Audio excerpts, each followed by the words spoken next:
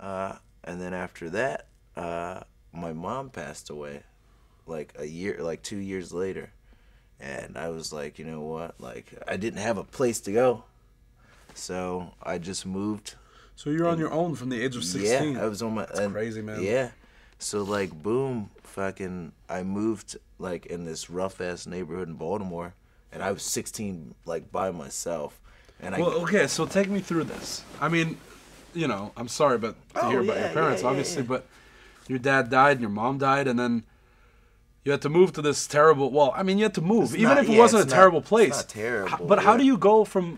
this is How do you like? I'm trying to. I moved away from my like. I moved out of my parents' house when I was 22 yeah. because I was having a baby and I was married, so I had Mm-hmm. to leave. You had to, yeah. But my parents were still alive, and like I moved in an apartment upstairs from my mother-in-law's. Yeah. But like, how as a 16 year old kid, how do you go?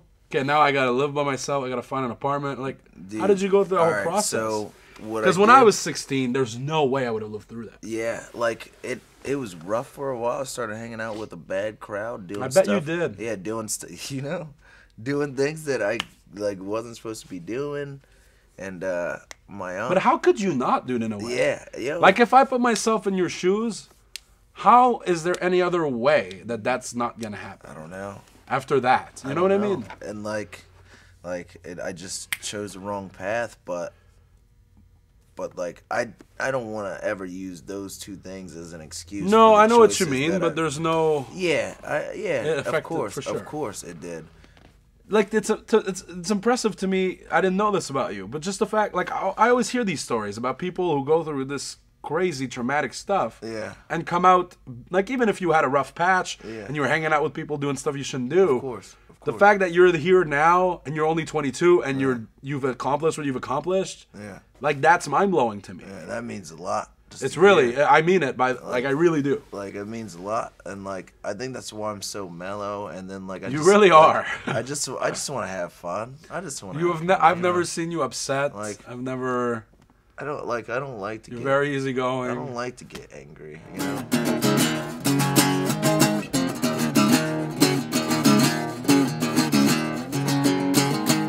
blood cry survive here. You're shaking, your bones are breaking, yeah. Like the Nazis, like this ground, we're gonna battle of next time. Ring fear,